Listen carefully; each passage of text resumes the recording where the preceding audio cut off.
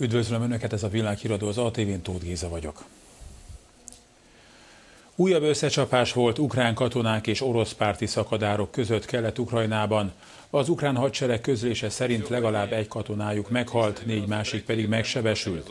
Az ukrán elnök provokációnak nevezte a történteket, és közölte, összehívja a Nemzetbiztonsági Tanácsot, hogy megvitassák a helyzetet. Később hozzátette, hogy a harcok szerinte nem akadályozhatják a békekötést. A 2014-ben kezdődött kelet-ukrajnai konfliktusban több mint 13 ezeren haltak meg. A felek 2015-ben tűzszünetet kötöttek, amelynek rendszeres megsértéséért egymást szokták felelőssé tenni. Közel lehet a lázadók elleni végső győzelem Szíriában, nyilatkozta Bashar al-Assad elnök. Mindeközben Törökország az oroszokkal tárgyal, eddig azonban nem sikerült megegyezniük egy esetleges tűzszünet feltételeiről. A tárgyalások kedden folytatódnak. A nyilvánosság előtt ritkán mutatkozó Bashar el-Assad szírelnök hétfőn az állami televízióban nyilatkozott. Beszédében elmondta, hogy az oroszok által támogatott katonai sikerek előrehozták a kilenc éves felkerés leverését, amelynek célja a hatalomból való kiszorítása volt. Idlib és Aleppo térségének felszabadításáért, valamint Szíria teljes felszabadításáért, a terrorizmus letöréséért és a stabilitás eléréséért folytatott harc folytatódni fog, a nyugatról érkező üres szavak ellenére nyilatkozta Assad, kiemelve, hogy a konfliktus még nem ért véget. Az oroszok által támogatott offenzíva célja, hogy visszaszerezzék az utolsó lázadók által uralt területeket Szíria északnyugati részén. Az elmúlt hetekben Assad erői megszerezték az Aleppo közelében fekvő vidék nagy részének irányítását, és egyre mélyebben hatoltak be a lázadók által irányított és sűrűn lakott Idlib tartományba. A támadás következtében közel 900 ezer szír hagyta el otthonát és menekült a török határ felé. Az ENSZ szerint a helyzet a humanitárius katasztrófa szélén áll. Ezeken a hétfői felvételeken egy török határtól 30 kilométerre fekvő város bombázásának eredménye látható, amelyben sok civil is megsérült. Az ENSZ közlése szerint csak az elmúlt négy napban 40 ezren menekültek el. Az összecsapásokban 13 török katona is életét vesztette, amely miatt megnőtt az erősebb török beavatkozás veszélye. Vladimir Putyin orosz elnök és Recep Tayyip Erdoğan török elnök telefonon beszéltek egymással, egyelőre azonban nem született köztük megegyezés. A tárgyalások kedden tovább folytatódnak. Négy országot adott hozzá az adóparadicsomok fekete listájához az Európai Unió, jelentette be Horvátország pénzügyminisztere.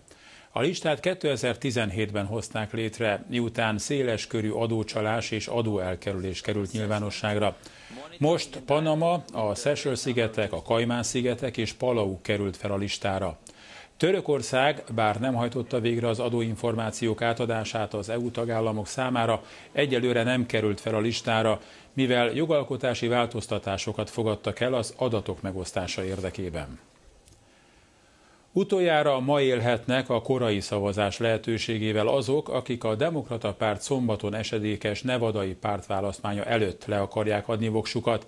Ezt múlt szombat óta tehetik meg, és a párt egyik illetékese szerint eddig a vártnál nagyobb volt a részvétel. Nagy erővel kampányolnak a Demokrata Párt elnökjelölt a spirensai Nevadában. Iowa és New Hampshire után ez a harmadik állomása a párt nyárig tartó előválasztásának.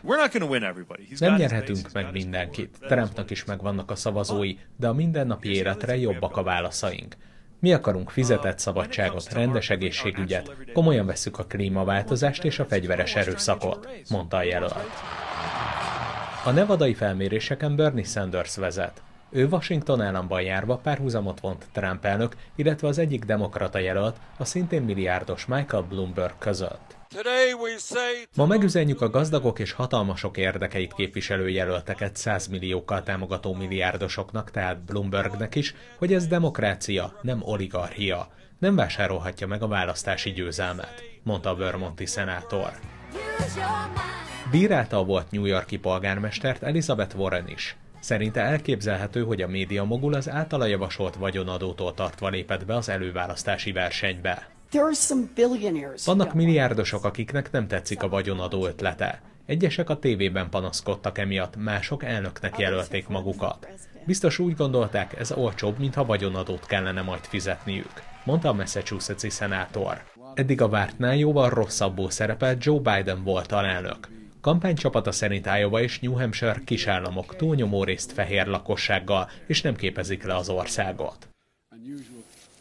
Karanténba került az a magyar pár, akiket hétvégén hoztak haza, miután egy olyan óceánjáron utaztak, amelynek egyik utasa koronavírussal volt fertőzött.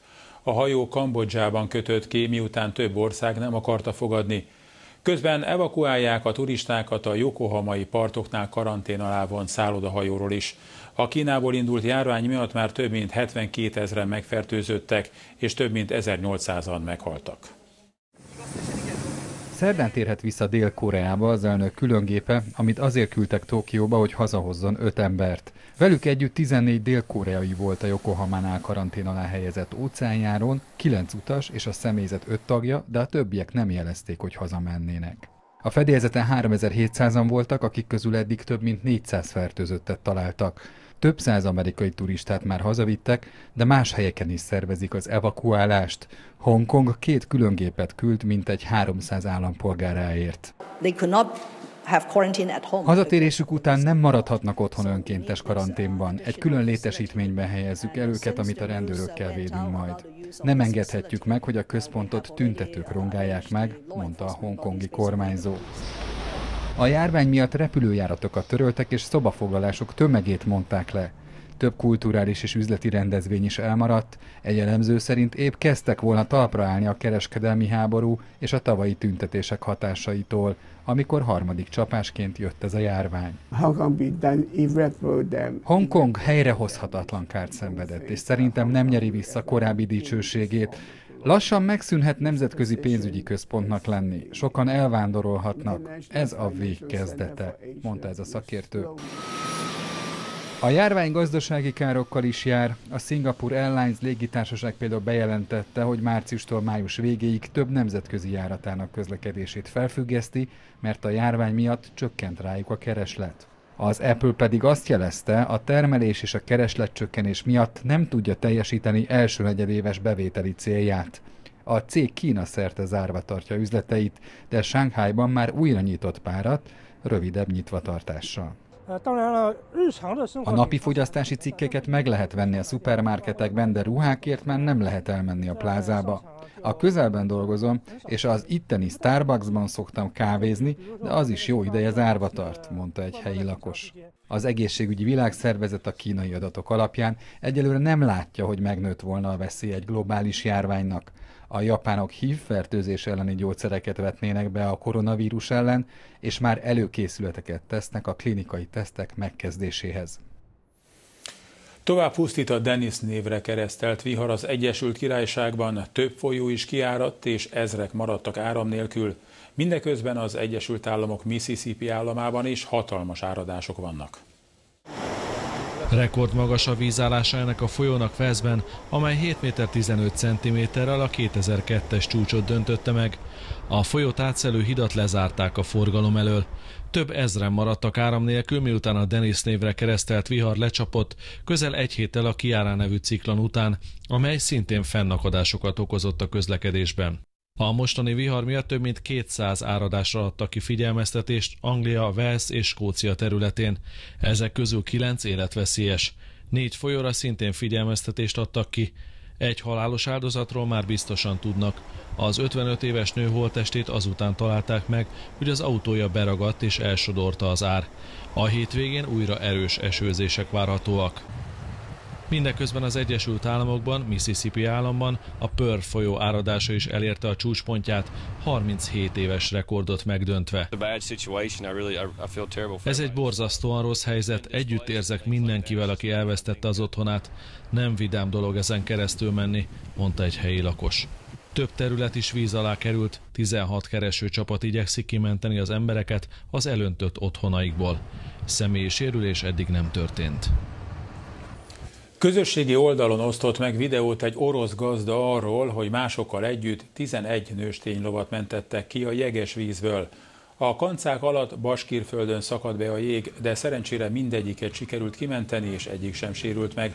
A videó készítője szerint még szerencse, hogy éppen arra jártak, a környéken pedig máskor elég vastag szokott lenni a jég.